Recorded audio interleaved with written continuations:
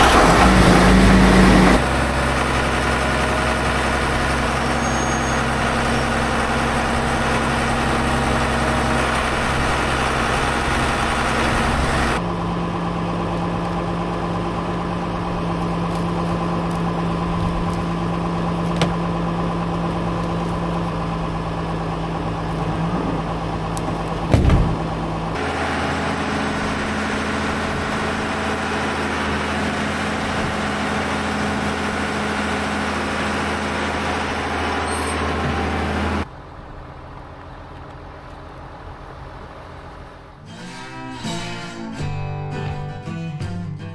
folks. Start of the day feeding the bale.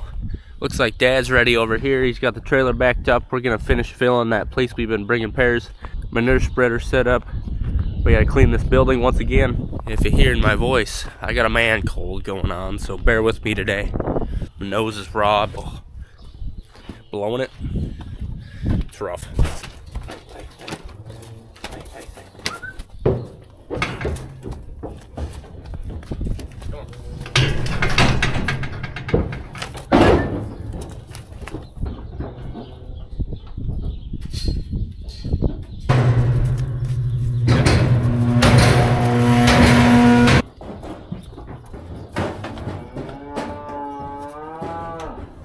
Got the calf goo. I'm all greased up. Did you sleep good though?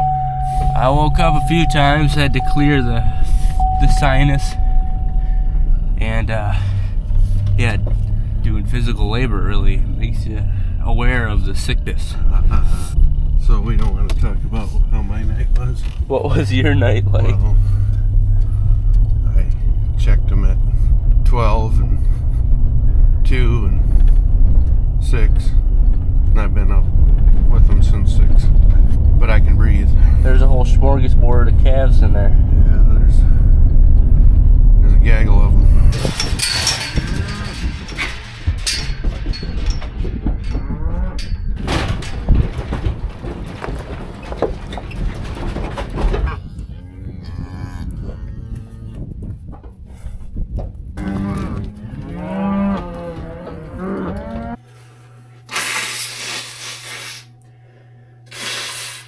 Oh.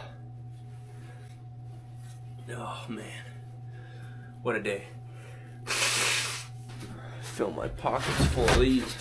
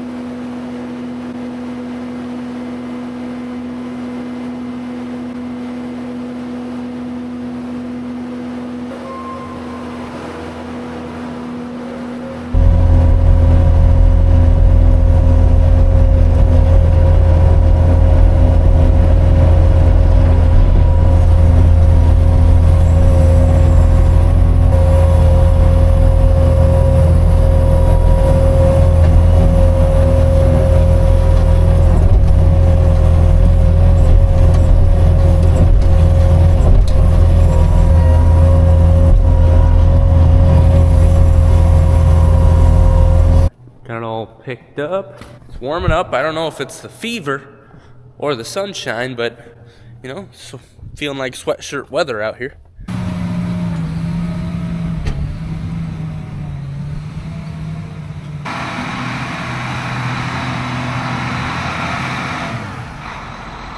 Dad did some box scraping yesterday. Looks like he piled up a little bit of manure that we can fit in this spreader before we take off.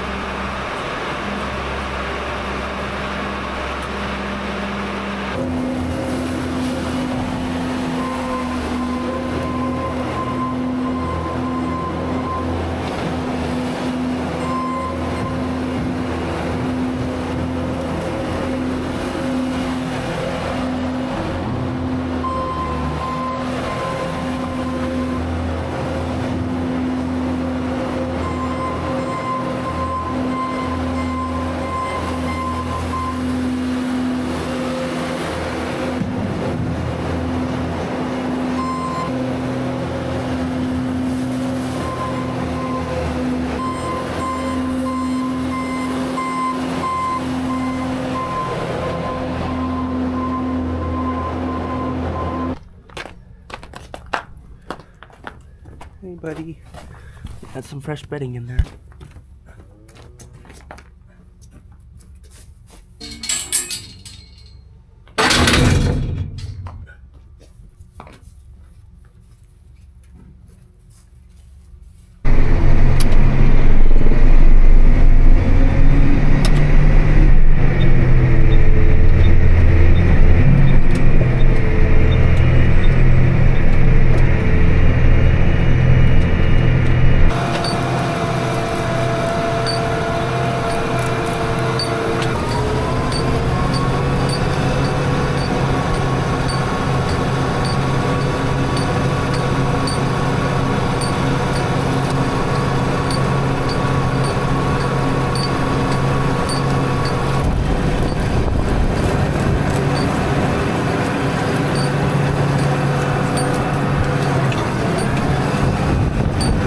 Those fields we've been hauling a lot of manure to, and uh, where those corn stalks starts, that's the neighbors. So we just got about four more loads to bring over here, and this field will be wall-to-wall manure, and we'll start on the next one. I got poo on my camera and my finger.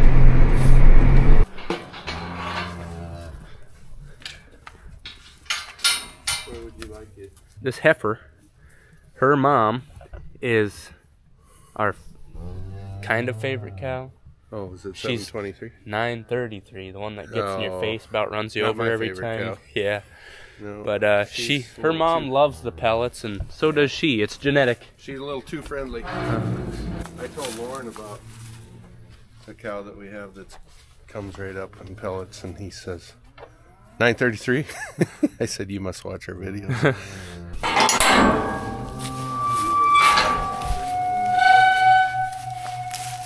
Dad's got a whole mess of feed ready to go for him. Mornings like these, you're a little stressed and anxious because you're like, I gotta move pairs. We got three new pairs to tag, gotta clean the building. And the next thing you know, it's 11 o'clock, you got it all done, and like, man, not much else to do today.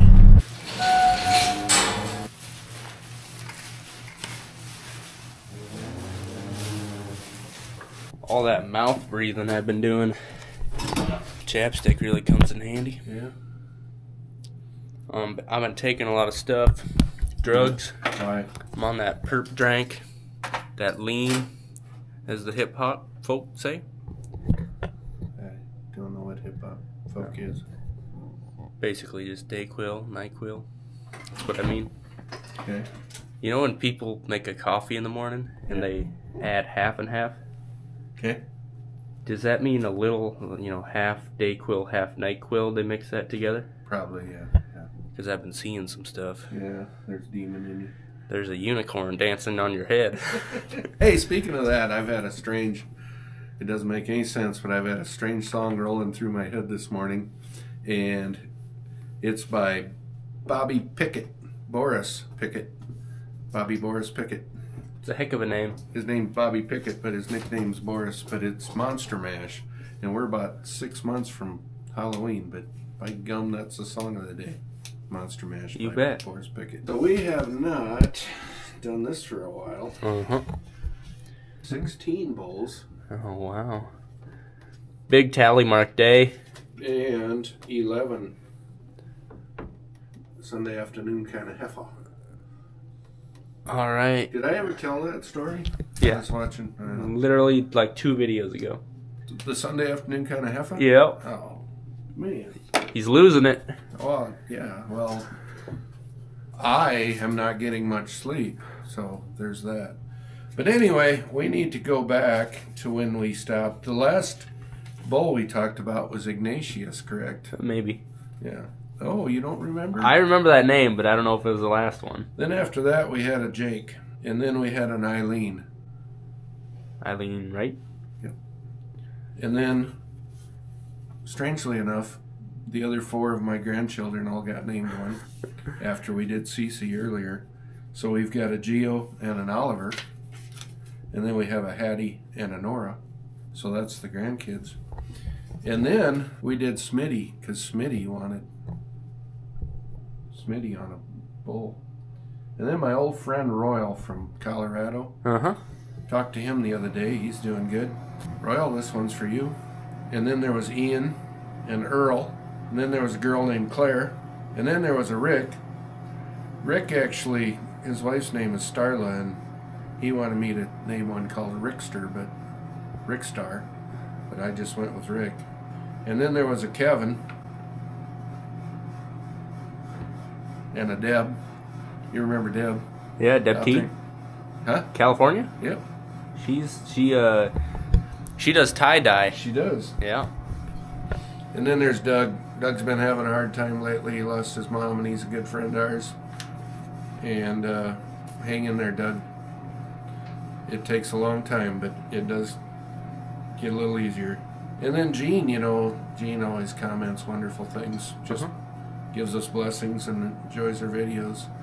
So if you want to be in the book with a calf named after you, or a clave, either one, ask me politely.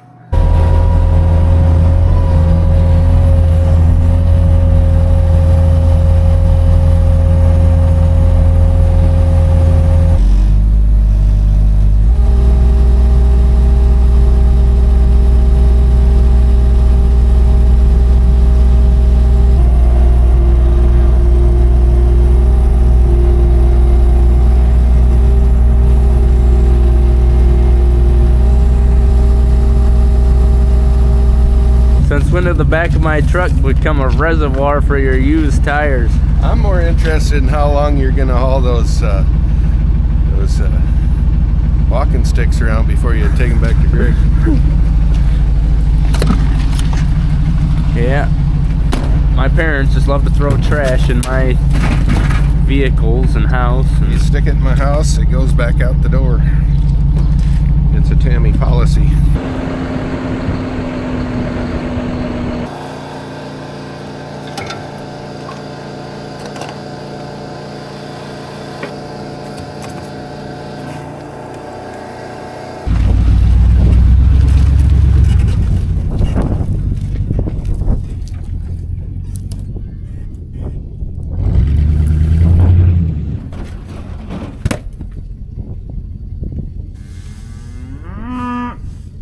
got them a protein tub and some mineral. They're hammering on it already. This stuff's got a product in it called Rumensin. It actually helps make the rumen in these girls more efficient. It also prevents uh, coccidiosis. Uh, we were talking about that disease a couple videos ago. It's when you get that in your calves, it's a big deal. Got a few things taken care of. We got some healthy calves, about 26 calves in total. The heifers are doing great. Been some good weather last week, and the 10 day is looking sunny and above average. Good calving weather. Hope you all are having a great Monday. Thanks for watching. Love to see you next time. Have a good one.